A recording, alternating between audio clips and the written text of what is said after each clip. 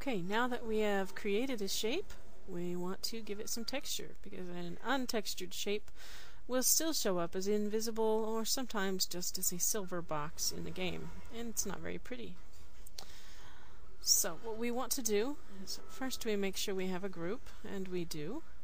We can divide our shape up into different groups if we want to give each group different textures. By doing this, we will select particular faces. So we click on Select and we change to Face. And then we get the faces that we want to select. We can just click and drag an entire box over. And since this is just a random shape that we're not using for any particular purpose, it doesn't really matter which ones we choose. So then we will go to Groups and we will click on Regroup.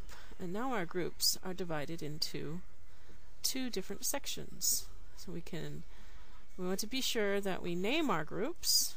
This is we're just going to give it a simple name like group 2 and click on rename.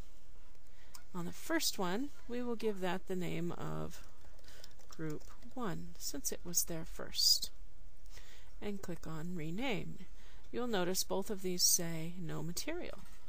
We want to make sure we have selected the correct group. So we'll come over here, click on Select, click on Group, unselect by clicking on the empty space out in this area. That will unselect anything you have selected. Go back to the Groups tab. We will start with Group 1. Click on the Select button. Now we can see which faces have been chosen for Group 1.